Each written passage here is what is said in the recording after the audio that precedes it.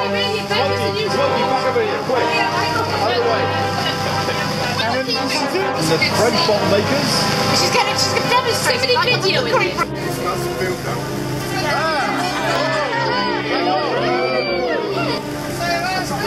In this, It is, it is, it's Oh, well, what you to do with that? in this edition, do you Yes, I do.